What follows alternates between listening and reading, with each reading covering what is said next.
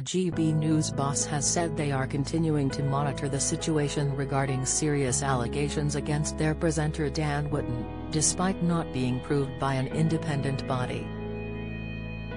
His self-titled show still airs Mondays to Thursdays on the TV channel. Dan admitted making errors of judgment but denied criminality claims after being accused of using a fake online identity and offering money to media colleagues for sexually explicit material of themselves, per an article in Byline Times. Channel executive Angelos Frangopoulos responded to a letter from the chair of the House of Commons Media Committee on Tuesday, providing an update on what, if any, investigations or processes have been undertaken since the recent complaints about Mr. Wootton were publicly raised. Dame Caroline Dinenage referenced an ongoing investigation into his alleged behavior by the Sun newspaper, the outlet Wootton worked at until 2021. She also mentioned news from August that Mail Online had paused his column.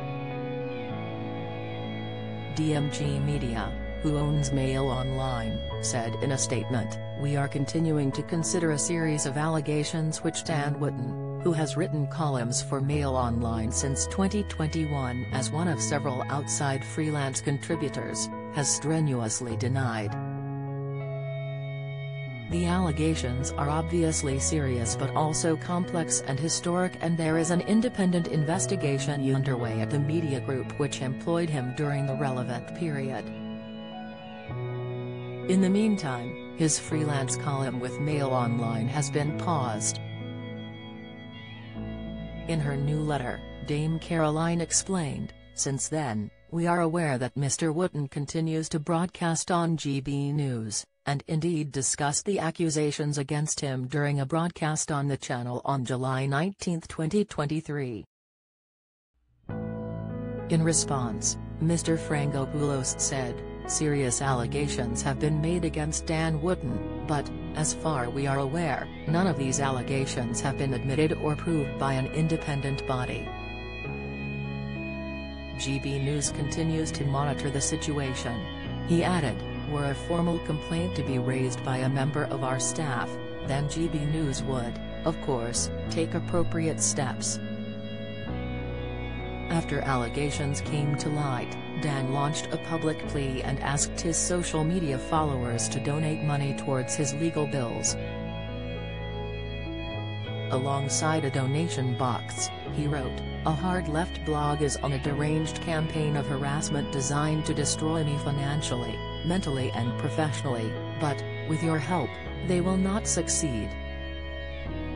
Byline Times has eschewed all journalistic, legal and moral practices to publish a series of defamatory and untrue claims as part of a highly politicized witch hunt designed to cancel and deplatform me.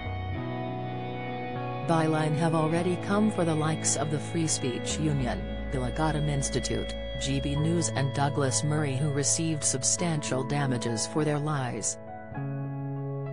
Now they and others want to silence me.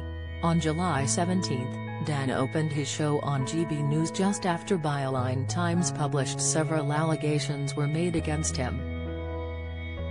In the initial report, the newspaper claimed Dan had posed as Branning and offered up to £30,000 tax-free to his alleged targets, claims he denies.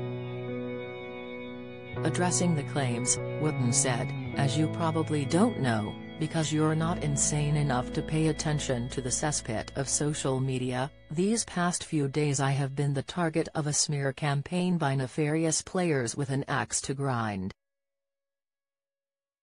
Notably, by an ex-partner who I was previously abused by, something I have never spoken about publicly before, by the way, who has been on a campaign to destroy my life.